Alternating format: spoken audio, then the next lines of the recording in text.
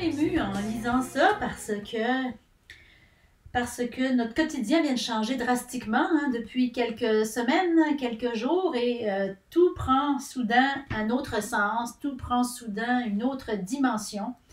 Et plus que jamais,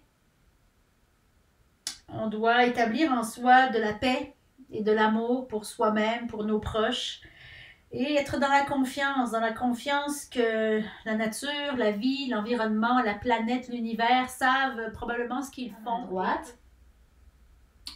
Un peu comme si on fixait notre cible, hein, nos rêves, nos projets, nos objectifs pour cet été. Maintenant, levez votre bras droit, collez-le à l'oreille, grandissez-vous toujours, mais dégagez l'épaule et encerclez votre genou, tirez-le vers l'épaule gauche et allez porter main droite. Je souhaite une merveilleuse journée. Je vous embrasse. Namasté.